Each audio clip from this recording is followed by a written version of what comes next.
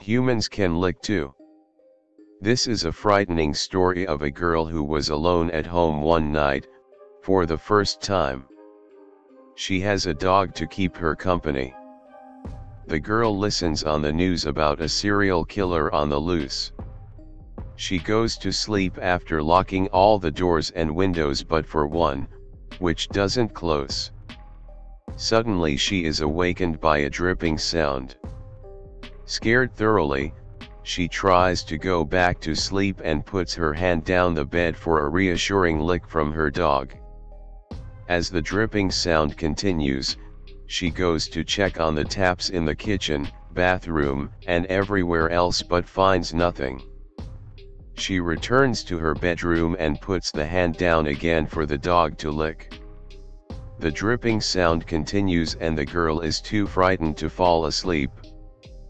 But as her hand gets licked from under the bed, she slowly falls asleep. In the morning, when she opens the closet, she finds her dog killed and hanged upside down. The dripping sound was from the dog's blood. On the closet doors, she sees a message, humans can lick, too.